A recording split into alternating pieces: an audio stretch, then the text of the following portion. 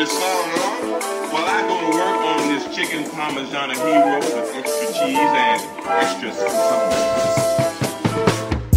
And hello and what is up my friends? My name is Alex and I would like to welcome you to another episode of Grass in Class. And today we're going to be taking a look at some plants that are trained and some that are not. On this side of the room, we have some wedding cake and some ice cream cake that we have not done anything to them, just topped them once about a week and a half ago.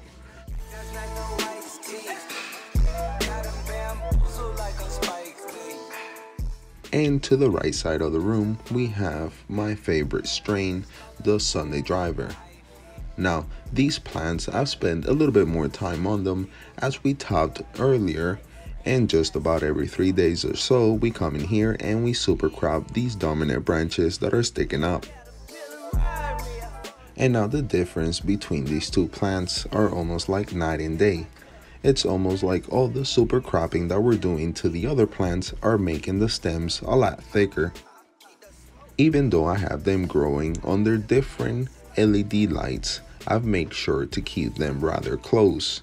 This way, I would not have so much space between the nodes as they grow, even though I have them placed around 6 to 8 inches away from the canopy. I am seeing still a lot of stretch from these wedding cake and ice cream cake.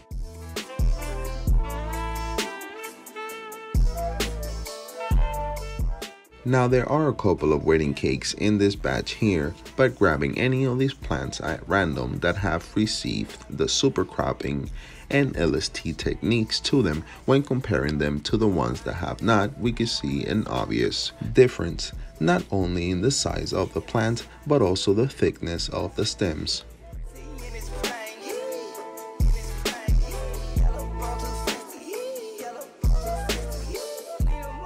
Now, in the two weeks that these plants have been in this solo cup, they have been super cropped at least four to five times.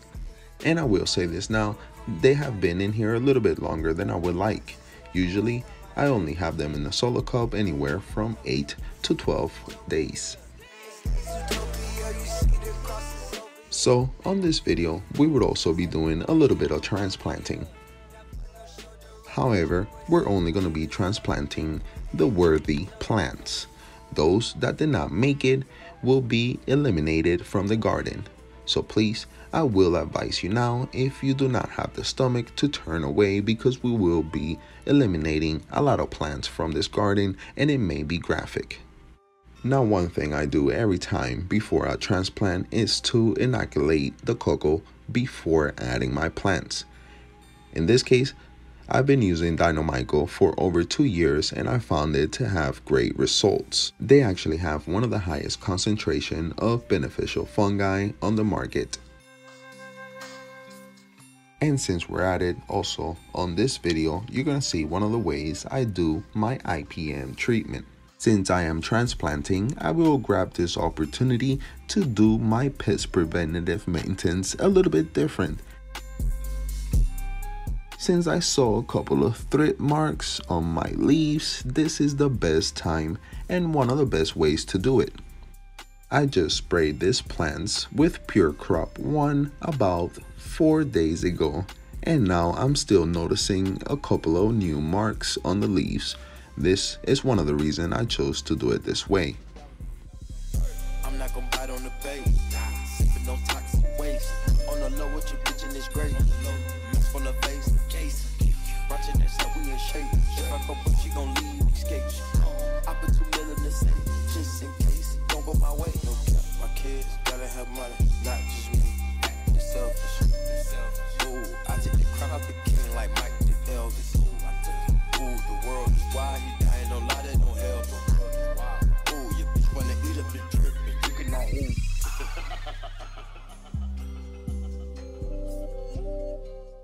now I don't think I have to explain why this method may have a better coverage than spraying.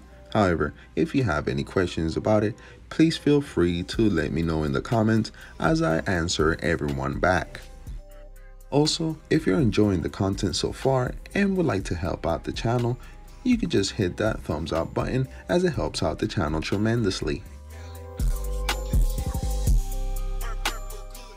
And now that we got these girls into their one gallon pot, we can go ahead and water them thoroughly with a ppm of 600 and at a pH of 5.8.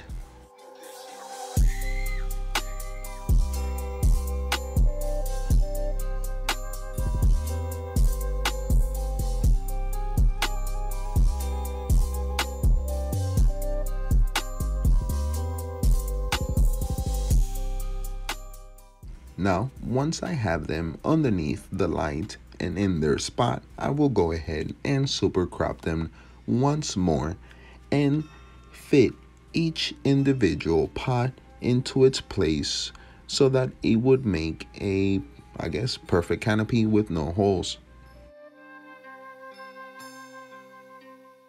And as far as for the location of the super cropped areas where I've done to the plant, well, it could just be above or below previous spots where you have bent or stressed the plant. And now that we have this side under control, we could go ahead and take a look at the opposite side where things are a little bit more, I don't know what the word is, but here's what it looks like.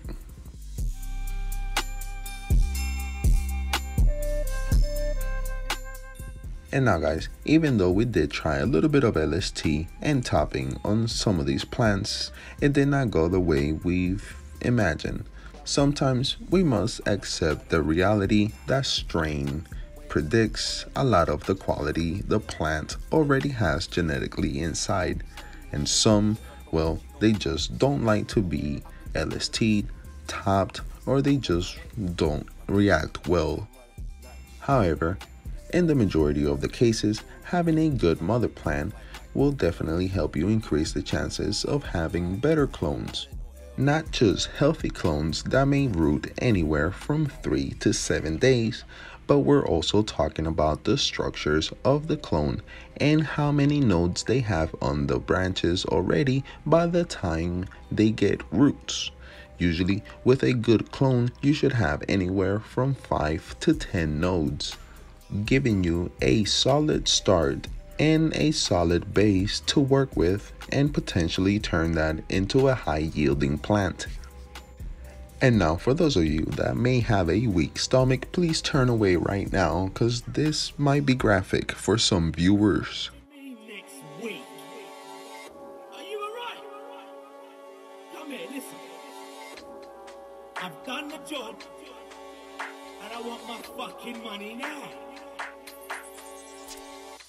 So when I step to the high road, I see CCTV and cameras. They're going hard for the riches and fortunes. From the street vendors to the bankers, boys in blue always looking for a problem.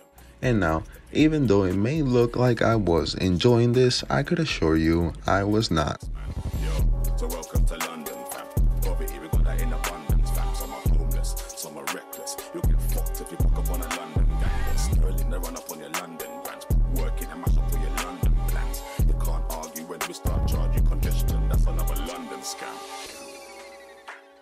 And now, my friends, I was not about to keep on going with those plants, being that I don't think I would have been satisfied with the ending yield. At the end, I would have much rather put the time and space into a plant that could potentially yield me what I would expect from it. Now, within two weeks of being in these one gallon pots and after much, much super cropping, it will then be ready to get put into its final home into this 3 gallon pots that I've been using for the past 2 years. And it is in these 3 gallon pots that these girls will flower